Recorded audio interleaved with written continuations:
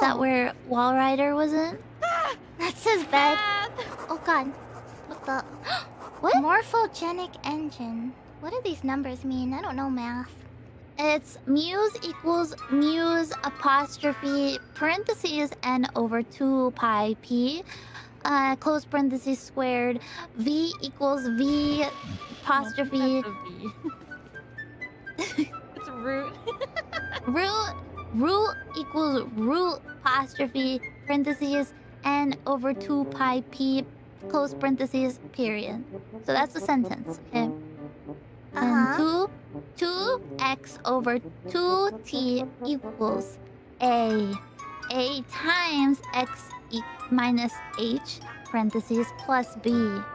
And then y minus k plus muse over oh muse apostrophe over p squared times a, 2 squared x over 2o2 that's that's oxygen you know and then Oh, yeah, you're right. and then 2y um i can't see the bottom part 2y over 2 uh, 2a equals c parentheses x minus h close parentheses plus the d parentheses y minus k. Is this see this is simple very simple math. You see the the the, the so you see the pattern?